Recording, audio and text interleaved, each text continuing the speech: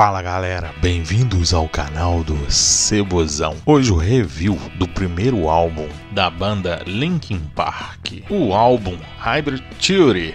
Hybrid Theory é o álbum de estreia da banda Linkin Park e é o álbum mais vendido do grupo até o momento com cerca de mais de 30 milhões de cópias comercializada pelo mundo. O álbum ganhou o certificado de diamante nos Estados Unidos, vendendo mais de 12 milhões de cópias somente no país. É o álbum de estreia mais vendido desde Appetite Destruction de 1987 dos Guns N' Roses. O álbum de rock mais vendido do século 21 e um dos álbuns mais vendidos de todos os tempos. E também está na lista dos 200 álbuns no Hall da Fama do Rock and Roll. Entre 1998 e 1999, o título do álbum era originalmente o nome da banda, anteriormente chamada Shadow.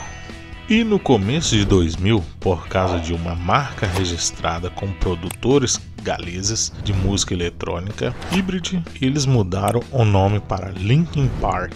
O vocalista Chester Penion passava dirigindo perto de um parque chamado Lincoln Park todos os dias após gravar, mas o nome Hybrid Theory foi mantido como o nome do álbum. O Linkin Park gravou este álbum sem seu baixista original Dave Farrell, que teve outros compromissos na época. As partes do baixo foram, na maioria das músicas, gravadas pelo guitarrista Brad Delson, mas a banda também contratou dois baixistas para as sessões. Ian Orbeck tocou baixo em três músicas, mais notavelmente em Papercut, enquanto Scott Cosiol tocou baixo na qual se tornou o primeiro single americano da banda, On Step Close.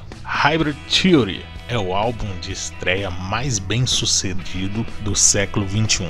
A bem conceituada revista norte-americana Rolling Stones caracterizou o álbum como 12 canções de fogo compacto, misturando metal alternativo, hip hop e arte de picar, que não pode ser separados. Foi o álbum mais vendido de 2001 e lançou quatro singles que foram direto para as paradas de sucesso, incluindo In The End.